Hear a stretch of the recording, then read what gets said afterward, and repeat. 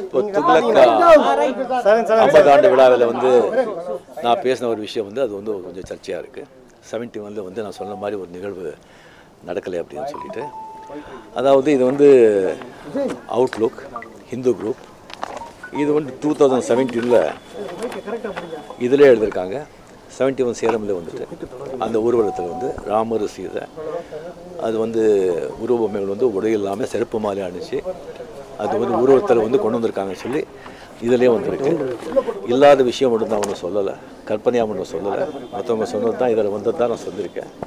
And Lakshmanan அந்த தரணியில் அங்கே வந்து அங்கே வந்து தரணா பண்ண அந்த லக்ஷ்மண சார் அவர்கள் அவர்களும் வந்து அது வந்து ஊர்ஜிதப்படுத்திருக்காங்க ஸோ நான் வந்து இல்லாத ஒன்று சொல்லியிருக்கேன்னு சொல்லி சர்ச்சை இருக்கு நான் இல்லாத ஒன்றும் சொல்லலை.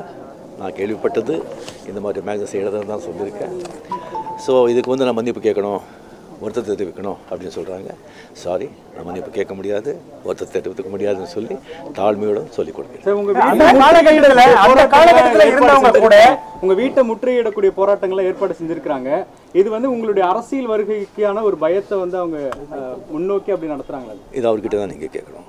இல்ல சார் இப்போ திருமாவளவன் உட்பட் உட்பட்ட அவங்க கூட சொல்லியிருக்காங்க நீங்க சொன்ன கருத்து வந்து தவறான கருத்து. நான் இப்போ சொல்லிட்டேன் தவறா இப்போ சொல்லிட்டேன் நான் கிளியர் பண்ணிட்டேன். இது ஆல்ரெடி இது இஷ்டம் கிளியராக இருக்குது அது நடந்திருக்கு அப்படின்னு சொல்லி இந்த மாதிரி மேக்சின்ஸ் எழுதியிருக்காங்க. அது கிளியர் பண்ணிட்டேன். அந்த காலகட்டத்துல பொது- வாழ்வுல இருந்தவங்க கூட அந்த அந்த சுச்சுவேஷன்ல இருந்தவங்க கூட இதை வந்து மறுத்து அவங்க வந்து ஆதாரத்தோட பல விஷயங்களை வந்து சமூக வலைதளங்களை கொடுத்துட்டு தான் வராங்க. எனக்கு நீங்க அவுட்லுக் பத்திரிகைன்னு ஒண்ணு கு- காட்டுறீங்க. அவங்க வந்து அன்னைக்கு களத்துல இருந்தோம்னு சொல்லிட்டு அவங்க அவங்களோட ஆதாரத்தை கொடுக்குறாங்க.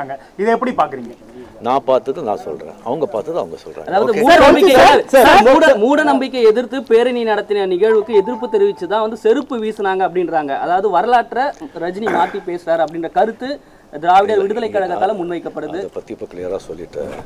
இப்போ நீங்களே கிளறீங்க. சரி சில வந்து சில வந்து அதிருப்தியான சில சில சில சில சம்பவங்களை வந்து மறுபடியும் மறுபடியும் நம்ம வந்து கொண்டு வரக்கூடாது. இது வந்து மறக்கக்கூடிய சம்பவம் இல்லை. ஆனால் மறக்க வேண்டிய சம்பவம். ஓகே